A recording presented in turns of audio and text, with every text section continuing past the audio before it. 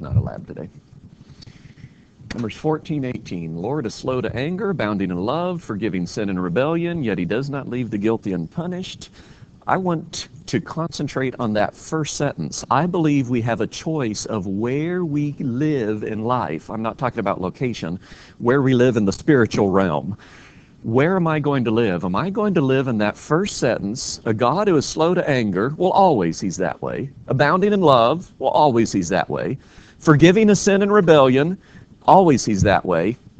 But I can't have that unless I choose to accept that, unless I choose to live there in a forgiven relationship with God, which is, prom- which is what he promises he will do. I would much rather live there than in the next sentence, yet he does not leave the guilty unpunished. If I choose to live outside of God, outside of a relationship with him, then I get to live in the second sentence. I get to live in the punishment of the guilty because we're all there. But we can be forgiven in the first sentence, or we can live reaping the consequences of our guilt. Live in the first sentence. That's my encouragement. Let's pray. Lord, thank you that you are such a loving God, slow to anger, a God of forgiveness. And I pray that we take that as our life, take that as how we live in that relationship with you so that we can be forgiven and we don't have to suffer the consequences of our guilt. Thank you so much for who you are.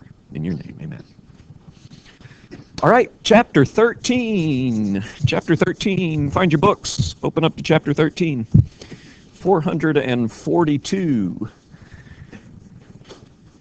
Guess the people who are listening to this on video are not going to get to see all of our demonstrations today. They can just imagine them as we talk about the exciting things. Chapter 3. We are going to begin electromagnetic waves. We just got through studying sound waves.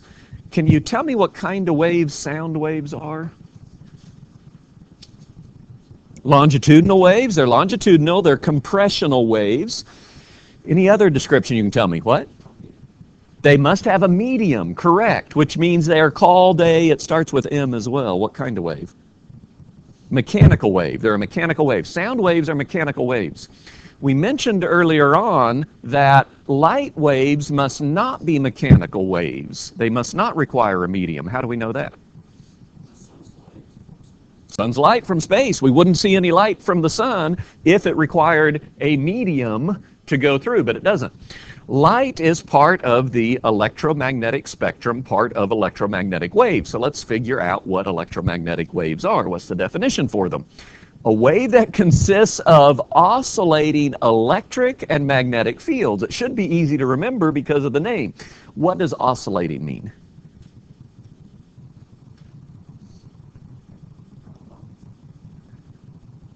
Okay. Something oscillates. It's going back and forth. It's kind of like periodic motion. Something is oscillating. I'm going up and down. I'm going back and forth. I'm oscillating. I'm moving between two points. Eh, very similar to periodic motion. So we have oscillating electric and magnetic fields which radiate outward from the source at the speed of light. Probably a better term instead of speed of light would be speed of electromagnetic waves. Light is just one of the electromagnetic waves, but we use the term speed of light. All electromagnetic waves move at that same speed. Light is a form of electromagnetic radiation. Now, as soon as you hear the term radiation, we generally think, uh-oh, going to get cancer. Well, there are types of radiation that can damage living cells, causing cancer, things like that. But something that radiates simply means something that is moving out from if I have light radiating from the light bulb, it means light is moving out from that light bulb. It is radiating away. Though, when we talk about electromagnetic waves, it does also fit the category of things we call radiation. Light is radiation. Please don't go running to your closet and turn off all the lights and for fear that you're going to get radiated because there is some perfectly good, healthy, must have radiation and some that's not so good. The electromagnetic spectrum includes more than visible light. Now, that's a little bit of an interesting phrase there. Visible light. Do you mean there's light that's not visible? Can you name for me any light that's not visible? Ultraviolet is a light. Now, when you think UV light or ultraviolet light, do you think of a color? Black lights, you might think of, ultraviolet lights. Well, what you see is actually not ultraviolet, but it's on that violet end. They look kind of purplish, don't they, when you get a, quotes, black light, we call it. Well, ultraviolet is just past where we can see on the electromagnetic spectrum. So you're right, ultraviolet we cannot see. That's a light that we cannot see. It's non-visible light, I guess. You may debate, well, why do we call it light? Yeah, maybe light really should just refer to what we can actually see. Any other type, ultraviolet, there's one. Infrared is another one. It's just below the red. What do you know about infrared? Anything about it? What it's related to? Any ideas? um, radio controlled things. You might have you might have uh, infrared transmitter, a remote for a television, maybe an infrared transmitter. Anything else?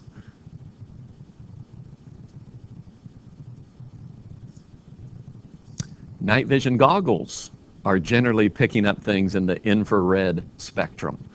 Um, so there are some things that you're very familiar with that deal with infrared stuff the electromagnetic spectrum. Now, there on the wall, I have this poster. You see, it says electromagnetic spectrum. And they go on this left side over here are the long was, extremely low frequency, ELF, and very low frequency. Don't you like these names? VLF. So these are low frequencies, and they are very long wavelengths. Where does it say the wavelengths of them? Somewhere it says the wavelength. Frequency, oh, there we go. Here's wavelength right there. Earth's diameter, that's a pretty big length. So here we have some extremely low frequencies that may have a wavelength that's the whole width of the Earth, diameter of the Earth. And so this one rotates around getting higher frequencies and shorter wavelengths.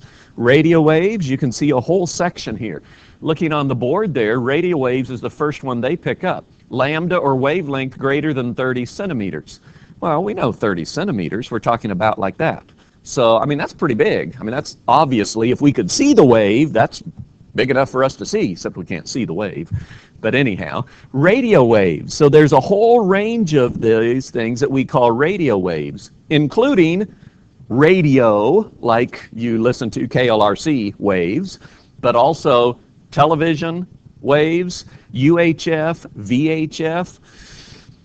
You ever heard of those terms? Not so much anymore because usually it's satellite. But if you've got a TV with two dials, man, we don't even have dials anymore. We used to have a UHF dial and a VHF dial. Some of you maybe have seen televisions with those, have them in your home possibly. Mr. Kabliska grew up with those. um, those are um, UHF, ultra high frequency. Where does it say it? Ultra high frequency. VHF, very high frequency. So they were different wavelengths, different frequencies, and different channels on the television were either UHF channels or VHF channels. Then we move into what's the next one they say? Microwaves. Good, it corresponds. Microwaves. Now, obviously, as soon as I say microwaves, I'm talking about electromagnetic waves, but you think of what? That appliance, that oven, you think of a microwave oven. If I say microwave, probably. What does the term micro mean? Small. Now, it is small, but it is not small compared to our very, very small things. In fact, it's actually on the long end of it. Microwaves between 30 centimeters down to one millimeter. I mean, we can even still see one millimeter very easily. So 30 centimeters down to one millimeter, those really aren't very short, very micro. Because if you look at this, we've got a long way to go getting shorter and shorter for these things. But that really is what micro means. It means they are um, small, very small. Notice up here on the far right-hand column, radio waves, AM, FM radio, television. Microwaves, radar. So you're talking about radar, whether it's the cop who's sitting there beside the road and, oh, you're driving a little fast, or it's for weather radar, whatever. Uh, atomic research, aircraft navigation, microwave ovens. Infrared, IR. Infrared is our next one over there. And when they say infrared, the longest ones are about a millimeter down to 700 nanometers. We need to know the power of 10. Back of your book, I think. Don't they say those prefixes there? do you remember what it is? Is it negative 9? Double check. See if Matthew is right. Jay Young thinks it's negative 9 too. I agree. Negative 9. So it's a billionth of a meter. Is that right? Million is negative 6, billion is the next thing. A billionth of a meter. So we are getting fairly short, but still we're not, we're about halfway through the spectrum. So we've got a little ways to go after that. After the infrared, oh, let's talk about it. Uh, infrared photography, physical therapy. Infrared is heat. When you are driving in your car and you have the windows rolled up, glass will block ultraviolet rays from the sun you will not get sunburned behind glass. So that's probably good news if you sunburn easily and you're driving all day on a sunny day. You're okay. Behind glass, the ultraviolet rays from the sun, which is what causes sunburn and also can begin to cause things like skin cancer, but that's blocked by glass.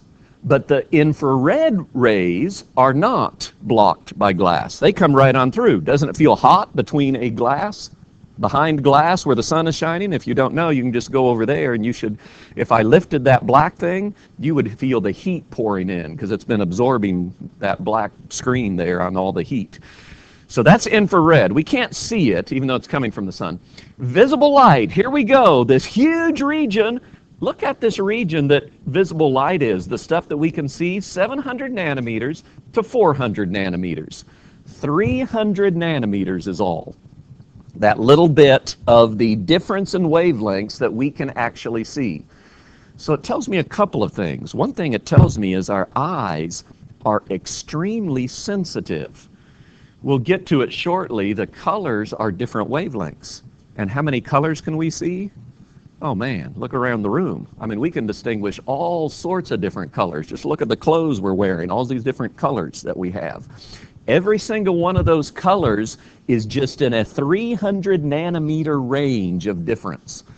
So our eyes are incredibly sensitive devices in what they can detect. A difference in wavelength means a difference in color.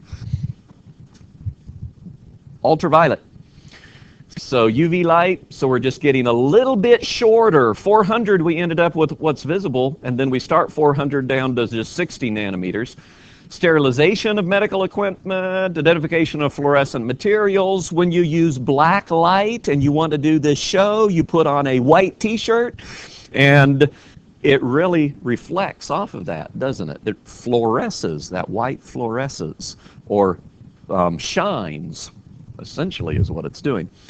X-rays, ultraviolet, we have X-rays, you know X-rays in the medical region. X-rays are going to pass right through many parts of your body, but they will not pass through some of the denser parts of your body, such as bones. And so all an X-ray is, is a um, photosensitive film where you are sending radiation, light waves through it, and where the bone is, it blocks them, and so it leaves it white, unexposed. And where it passes through, it turns it black. You've seen x-rays, just black and white is all you're looking at. It's all it's doing. It's exposing it or not exposing it because something dense has prevented that ray from coming through. And that dense thing is the bone. So pretty good to know if your bone is broken, right, Hayden? If your arm is going off at one funny angle or something like that. X-rays. So you didn't need an x-ray for yours. Medical examination, teeth, vital organs, treatment of certain cancers gamma rays, x-rays, gamma rays down there, very, very short wavelengths. And when we get shorter wavelengths, we're getting higher and higher frequencies. So they're inversely related to each other. The shorter the wavelength, the higher the frequency is as we go. And study this sometime because this chart over here, this poster over here, gives you a whole bunch of things. You can fan out from it, and they'll talk about different things that fall in the gamma radiation region. There's a cool x-ray picture of somebody's hand right up there. So you can kind of fan out from these regions and see some of the applications of what goes on. And then past gamma rays, we have this nice little region on this chart. Can you read it? Unknown, it says. Doesn't mean we have stopped. In fact, I'm suspicious that it doesn't stop with gamma rays, 10 to the negative 15th nanometers. Negative fifth, sorry, nanometers. We are simply getting so small, we don't have equipment that detects that very well. So, does it mean we have stopped? No, I'm sure it doesn't. I'm sure there's stuff out there that we just can't detect, we can't measure. So you're never going to run out of physics. I think you guys know that. We're not going to have to worry about not knowing what to do. All right, electromagnetic waves vary depending on frequency and wavelength.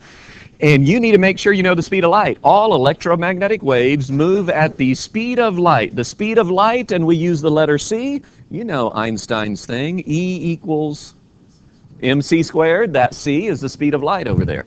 And this is the speed of light in a vacuum. Now, through air, it's to three significant figures, it's still the same. It's still 3.00. It's a little bit slower through air, but it's still to three significant figures the same number. 3.00 times 10 to the 8th meters per second. Um, there's another number. See if I can remember it. Maybe some of you guys remember it. 186,000 miles per second. I don't know if you've ever heard that term, but that puts it in perspective a little. That's the speed of light in miles. 186,000 miles every second. Fairly fast. You'd get whiplash. Some other things too, but pretty fast. Wave speed equation. This is an equation that we have seen before. Haven't we learned V equals F times lambda, frequency times wavelength? All we're doing is replacing V, velocity, with the speed of light because the speed of light is the velocity of all electromagnetic waves. So we know that number. So speed of light will always equal the frequency of the wave times the wavelength of the wave. We're still in hertz, we're still in meters, or we need to convert it to meters. All right, see if I can remember to turn on sound and stand over by the speakers so that these people who aren't here can hear it. Whoa, where'd I go?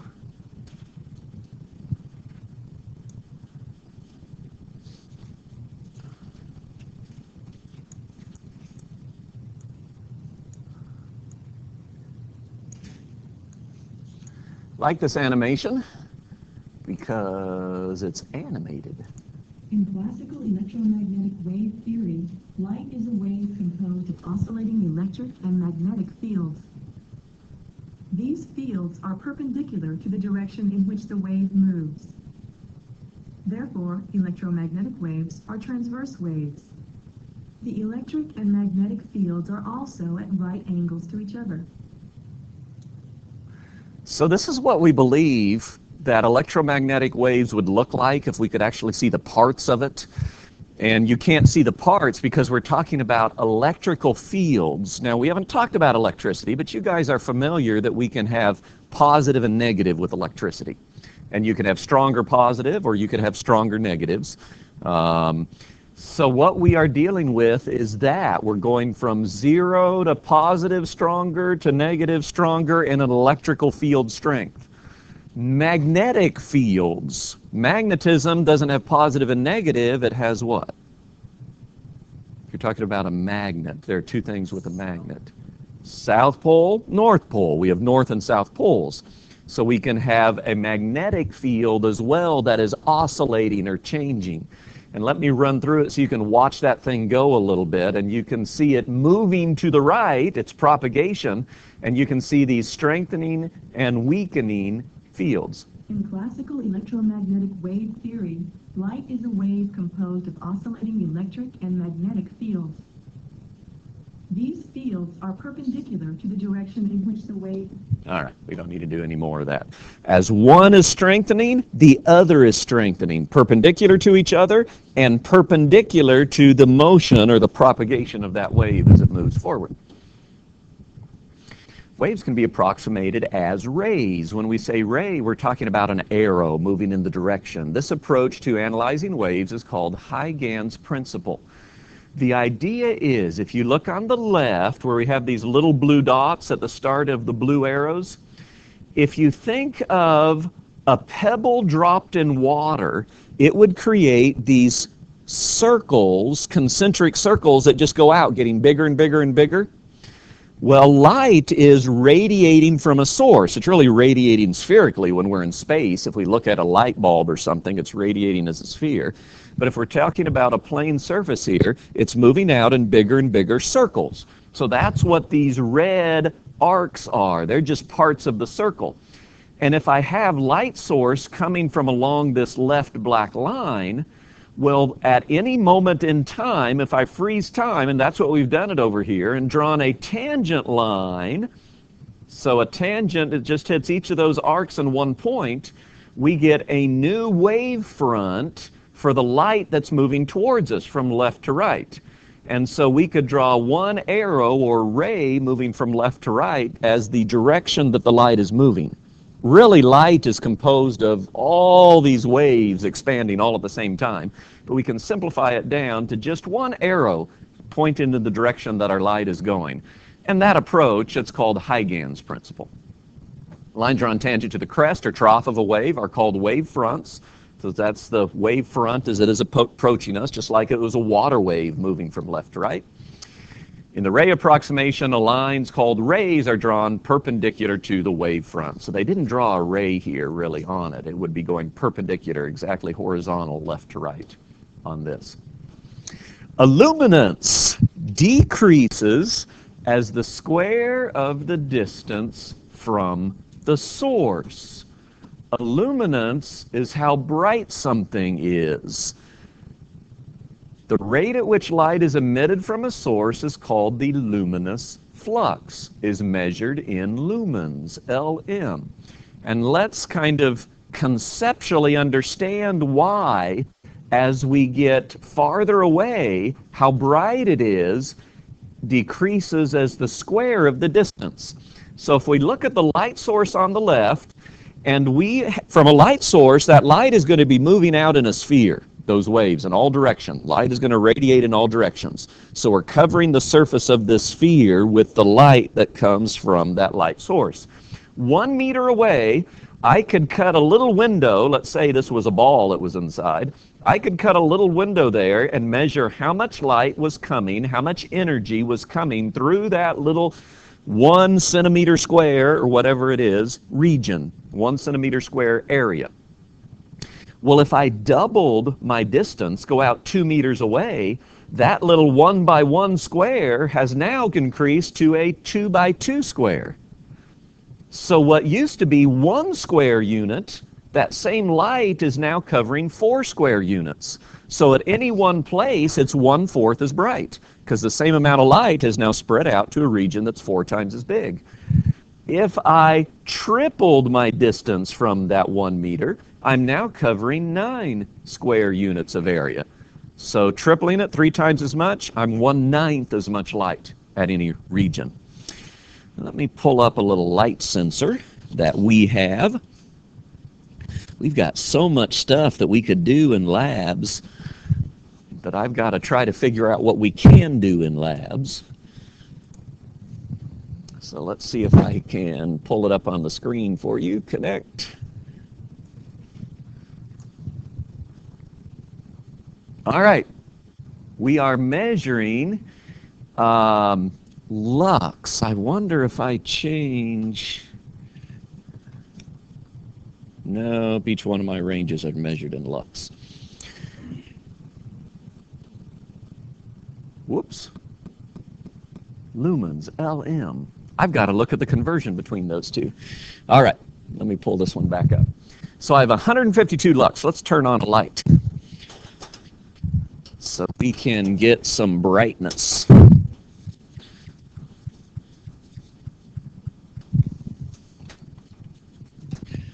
And boom, we're bright. Okay? So if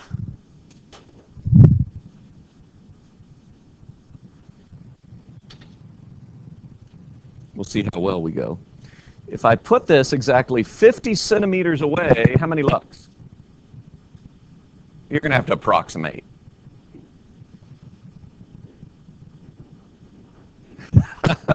and I have to, I know it. Let me see if I can hold it steady because I have to have it pointed exactly the same spot.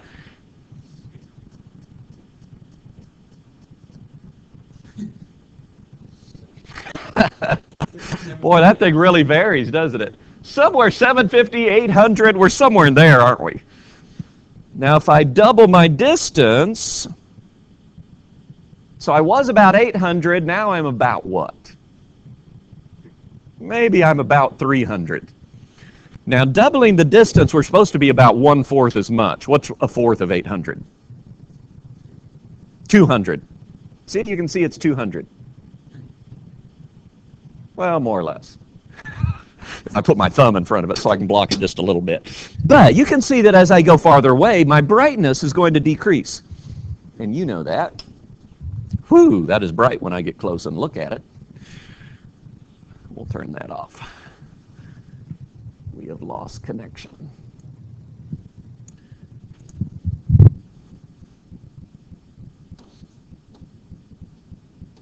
Oh, I forgot to remove these things on this one. Reflection of light.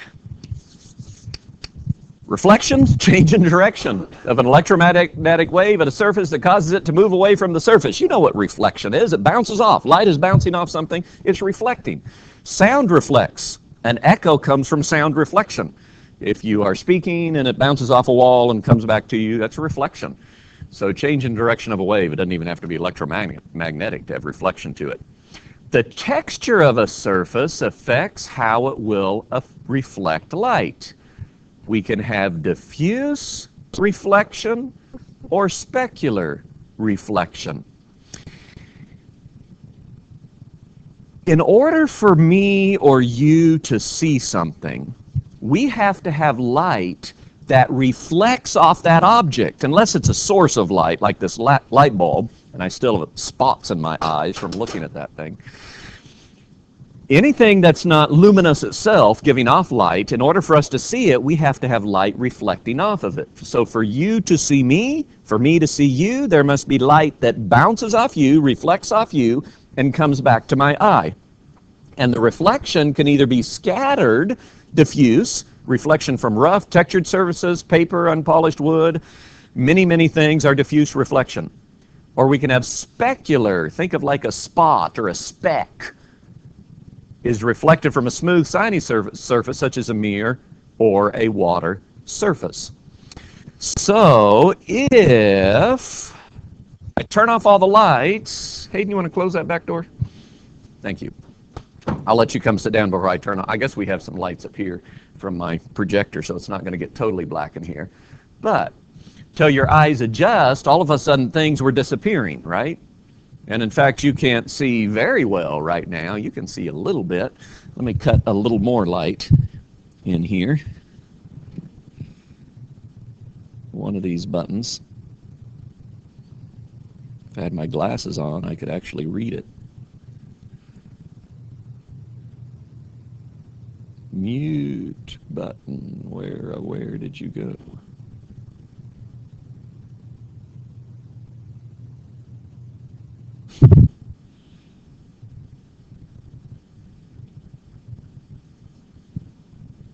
I find it? No, I didn't find it. I have somebody with better eyes. You have to have light reflecting for you to see. So you can see that things are starting to disappear. You know that. You ever been in a pitch dark like a cave or maybe a closet, no light around? Hold your hand up in front. I mean, nothing. Absolutely nothing. Because there's no light reflecting off of it. Now, let's look. Where did my little laser pointer go? I'm going to assign, there's a nice mirror setting right over there on top of that. So you can see as I am shining this laser on the board, can all of you see the red dot? Why can you see the red dot? There is light that reflects off the board that goes to Marco's eye, goes to Hayden's eye, goes to Jason's eye. It is diffuse reflection. It is reflecting off in many different directions. It's spreading out so that it's hitting all of our eyes, coming back to my eyes so I can see it, stuff like that. Let me move this angle just a little bit. I am going to, now you can see the red dot on the file cabinet. I'm going to move it up. You can see the red dot until I hit the mirror. So you can see the red dot right on the frame of the mirror. And then when I hit the mirror, where did the red dot go?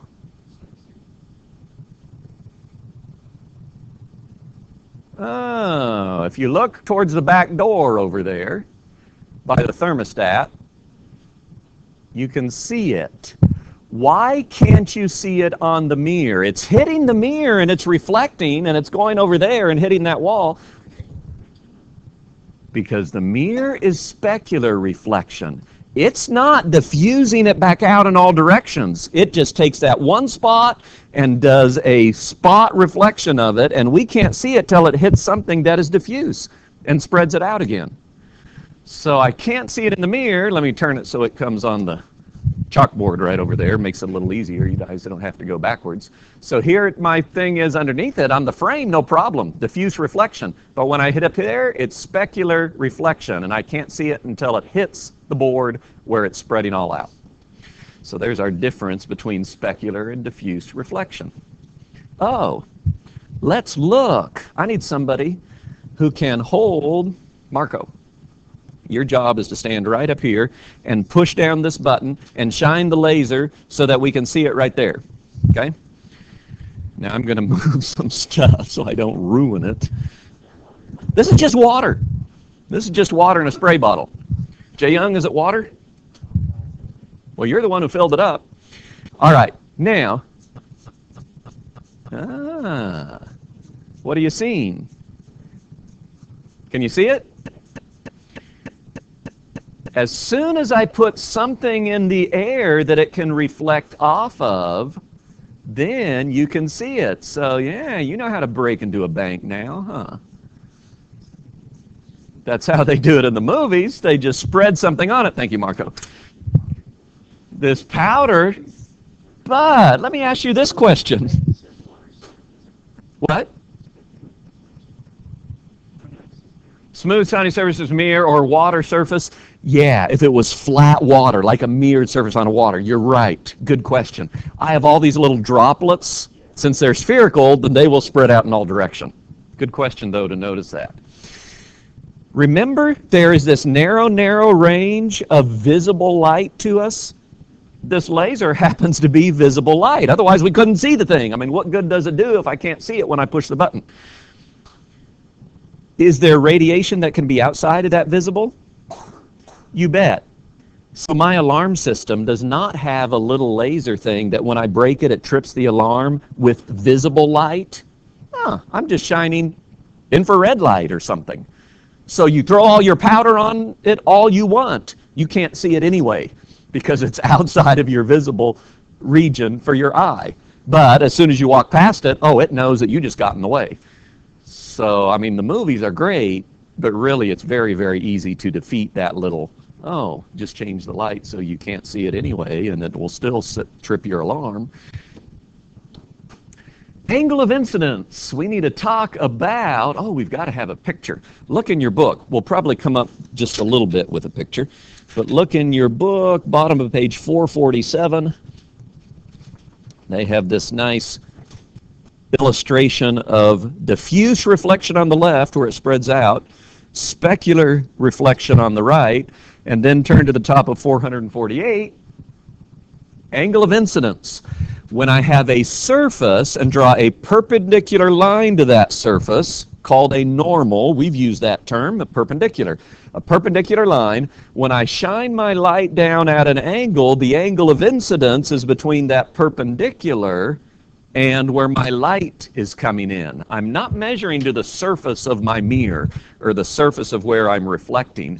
I'm measuring to the normal. So here's my normal, and when I'm coming in, I'm measuring this angle here to the perpendicular. That's my angle of incidence. Angle between a ray that strikes a surface and the line perpendicular to the surface at the point of contact. Angle of reflection is the angle formed by the line perpendicular to the surface and the direction in which the reflected ray moves. So you can see on page 448 there where the angle of incidence and the angle of reflection are, and according to this last line, they should be what? Always equal to each other. In optics, the law of reflection states that the angle of reflection of a ray of light from a surface is equal to the angle of incidence. The angles are measured from a line perpendicular to the surface at the point of reflection, as shown here. So let's look at it. I'm going to pause my recording a little bit because they can't see a thing of what we're flat mirrors. So we had a flat mirror sitting over there on top of the file cabinet. Flat mirrors form virtual images. We are going to learn there are two types of images that can be formed, a virtual image and a real image. Flat mirrors form virtual images. They're the same distance from the mirror's surface as the object is. What does that mean? Let me hold this mirror up and I'll walk across in front of you so that hopefully you can see yourself. So everybody in this row, oh, you're writing stuff, but as soon as you're not writing stuff, look at the mirror. Am I holding it where you can see yourself?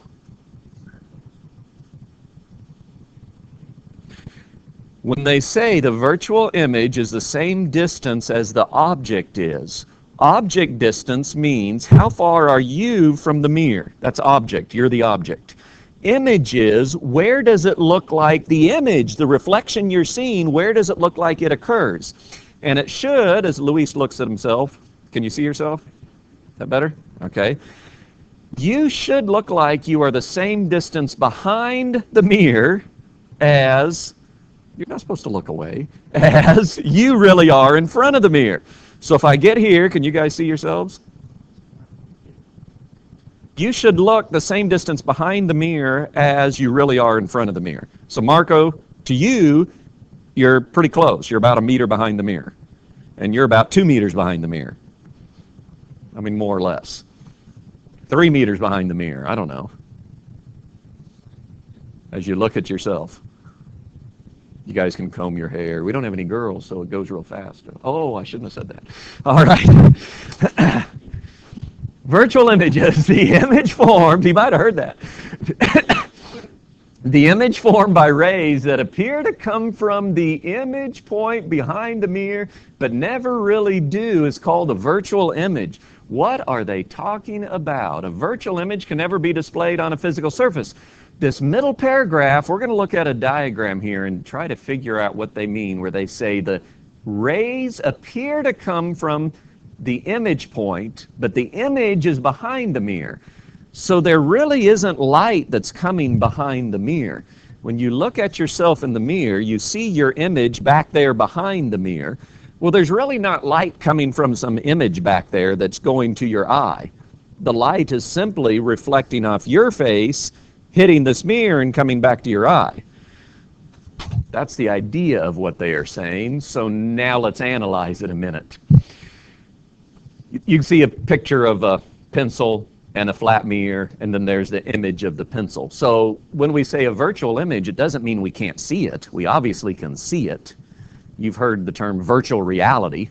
Virtual reality, it's not really reality. Well, you can see stuff, but it's not really there. You know that. There's not a second pencil back there. So here's our object on the left. The blue right here in the middle, that's supposed to be the mirror. So the mirror surface is this black line. You can see mirror written on the bottom.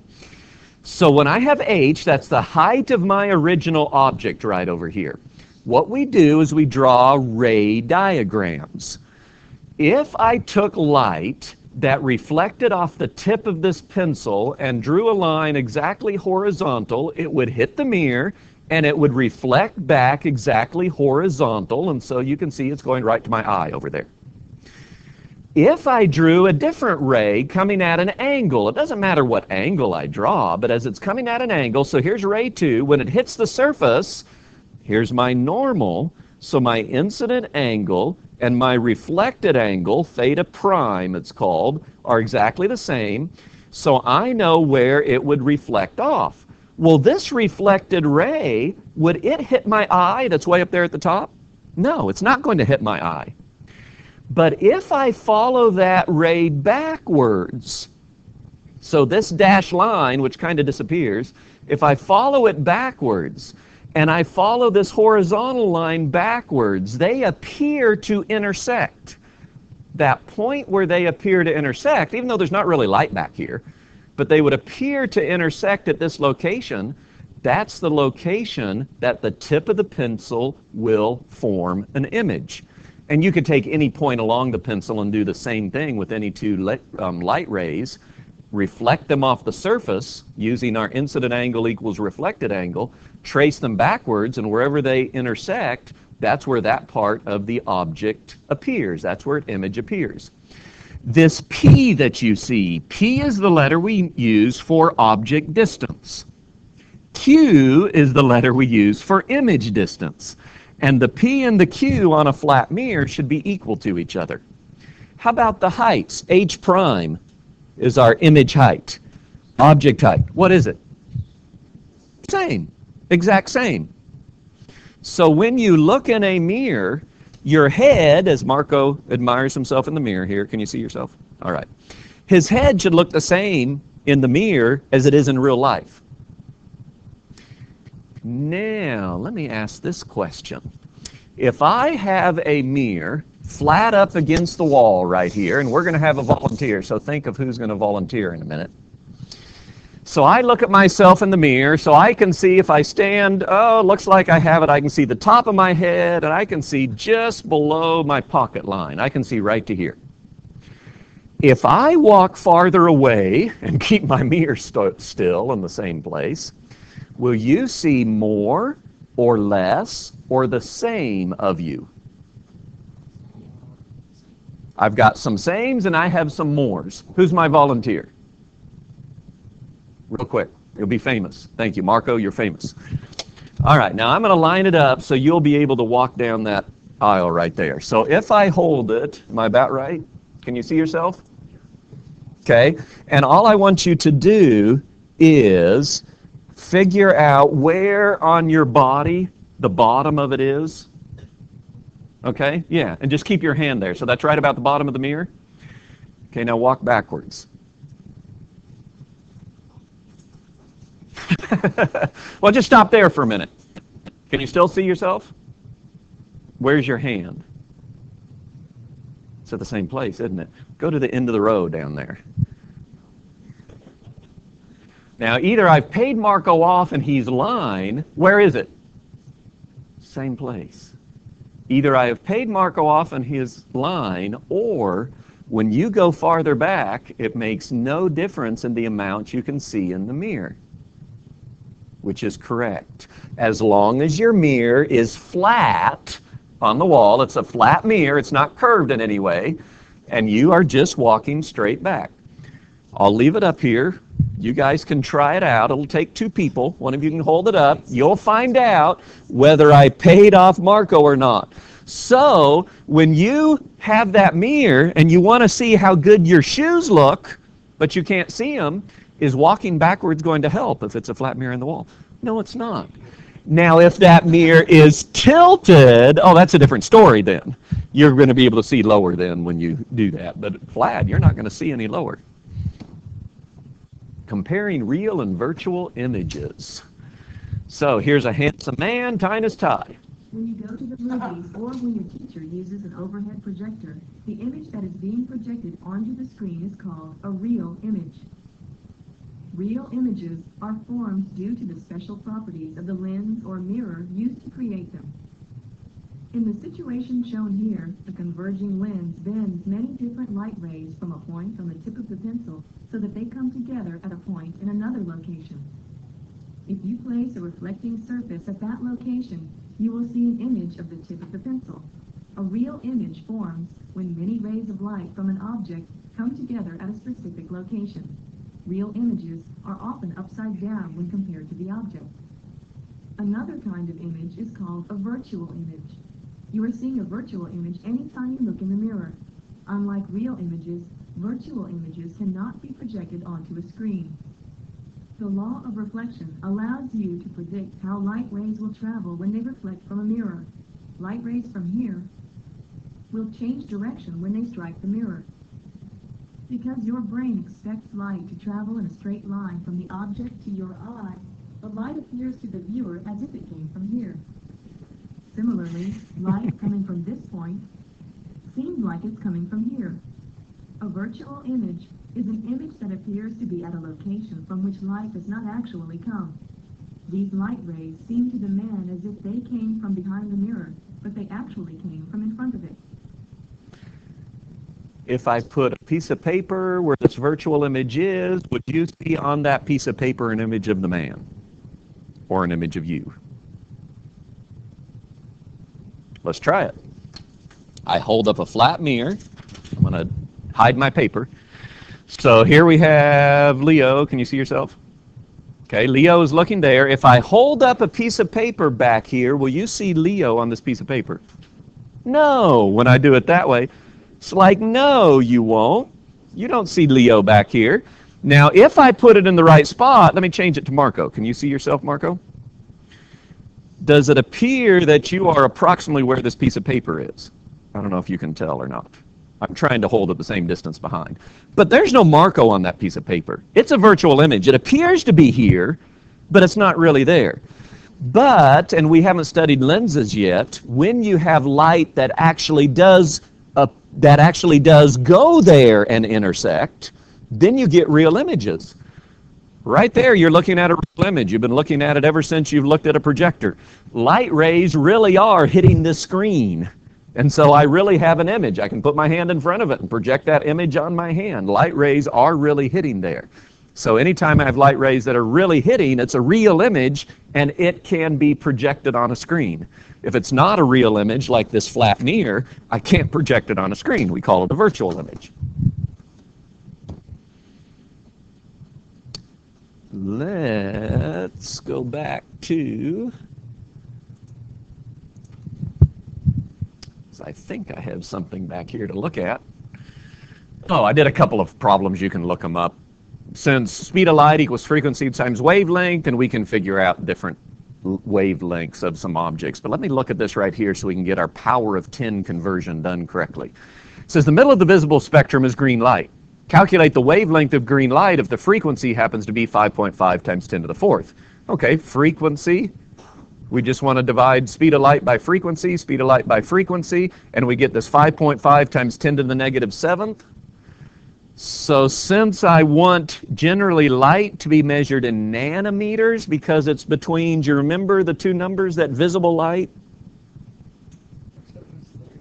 700 down to 400, a 300 nanometer gap. 700 is the long end, down to 400 on the short end, and it's measured in nanometers. So if I have negative seventh meters, then it's nine places to get the nanometers. So negative 7 to positive 2 is how many nanometers there would be. And then if I move that decimal two places to the right, instead of 5.5, I get 550 nanometers. Or you can go through a conversion but we generally want our light waves to be written in nanometers. So 550 nanometers, right between that 700 and 400 like we expected it to be. So let's look at this one for just a minute since I actually can draw on this one. What they are saying here, I need to go back to stuff that I can see. There we go. What they are saying here is if I draw light ray 1 coming straight out from this pencil, it really reflects back, but my eye thinks it's coming straight from the horizontal.